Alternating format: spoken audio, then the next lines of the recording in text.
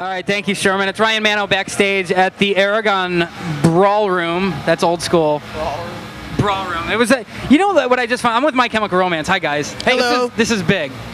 I'm with Mikey and Ray, and um, I just found this out tonight. Like back in the 40s, like this was the place to be in Chicago. Like Glenn Miller Orchestra would play here, and like everybody would flock here and ballroom dance out on that floor. Wow. This is amazing. Like, it's always great to play, you know, venues that have a lot of history, that look lived in. And, I mean, you know, from the outside and on the inside, they might look a little run down, but, you know, there's always there's always a vibe and an energy about Yeah. places like that. And, you know, you can feel the same thing here. Yeah, it's always crazy because like Chicago was the first city to embrace us. You know, like there was New Jersey, and then Chicago Right. was the next to our hometown. And I'll bet you I was at most of those early Yeah, gigs. it's, it's just crazy because like Chicago and the UK were the two things away from home that like always felt like had that. our back, and we look forward to all of our Chicago shows. Yeah.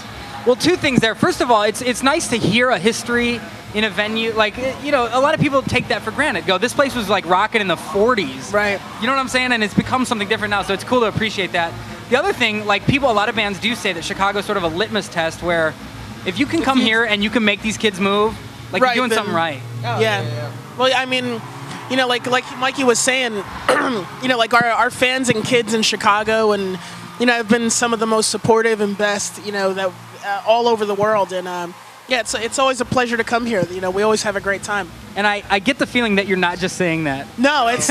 I mean, it's a lot of totally come true. here and they're We- like, you know, a bunch. Chicago. a couple of years ago, we played a show with the Used at the Metro. I was there. and um, it was, you know, it was our first like, it was our first big show. I remember walking into the Metro, and we were like, "Holy crap, this venue's enormous!" You know, and and like everybody there was so welcoming, and like you know, kids got so into it and made us feel. That was like the first time I think any of us signed any autographs or anything like that. Totally. You know, and. Uh, yeah, I mean, they just showed the love. So Yeah, we saw some of them at the signing today, actually. Like just kids from the same past. yeah, Yeah. And you're like, wow. Do you recognize? Like, can you recognize those faces? oh, absolutely. Uh, yeah, yeah. I mean, Do they leave an imprint where it's like hard Yeah. to shake them? there's that yeah there's definitely a lot of kids especially um, you know especially if we've we've talked to them after the shows and stuff like you get to know them and you know, you know you get to learn their personalities Yeah. you know you'll see their, their faces in the front row and I mean Yeah. yeah. it's it's always nice to make that connection you know like five five years down the line they're still with us they're still coming to the shows That is and, awesome. So you know, everyone listening to this right more. now, they they remember you and they're not lying. So that's yeah, like they, like when we came here, like we were saying, we came here and there was kids that hung out. We had, you know, like we were like strangers in Chicago, Sure. and these kids would like come out and bring us food and like hang out with us. We'd go places. It was rad, and they're awesome. still with us. That's It's awesome. insane. Um, you know, and Ray, you just talked about how you can feel something in in a in a building, like, and I know, I mean. Was that place where you guys recorded the record? Like, was there some legitimate stuff going on? Who had to leave? Didn't someone There's- leave? Yeah, that was me. Was that like, was it for real? Like, was that like a strange? there was definitely you know some negative some energy there you know like some kind of force and i mean you know some sometimes we would uh, you know you would hear like doors slamming out of nowhere and um, you know sometimes voices you'd hear you know water would be running in bob's room and there was definitely some uh, some mystical forces going on there but you know we we came through it and you know came well, through and I, stronger, and I think so- it. Well, go ahead. No, I was saying. I just remember um, Papa Roach stayed in there uh, Right. right. before us, and their album's called Isn't that the Paramour. Paramour demos, Yeah, the? Paramour or something.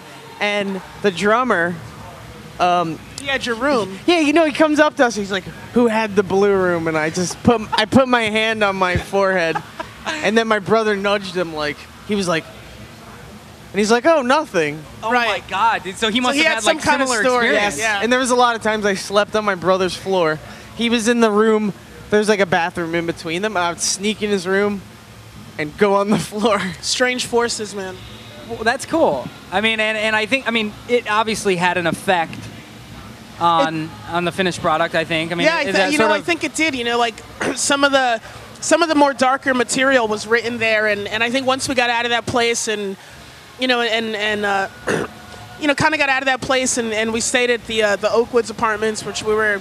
It was just nice to get out of there, you know, and, Yeah, and just get into a more absolutely. comfortable environment, and um, you know, I think the you know the song, the lyrics, the music too, kind of took a, a a turn for the better as Yeah. well. So.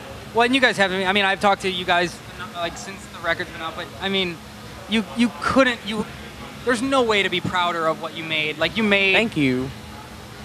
I mean, essentially a masterpiece. Like Thanks, in, in yeah, I mean, you I couldn't have appreciate asked for a better record. So Yeah, every Congrats. you everybody, um, you know, everybody in, in the band and, and who worked on the record, everybody busted their ass, yeah, you know. And, working with Rob probably wasn't a, a bad thing. I mean, he that was guy's great, you know. He was he's just money. He's I mean, his amazing his thing person. is He really is. His thing is just being supportive of the band and you know doing what the band wants and Yeah. not not making it a fight, not making it an argument. Yeah.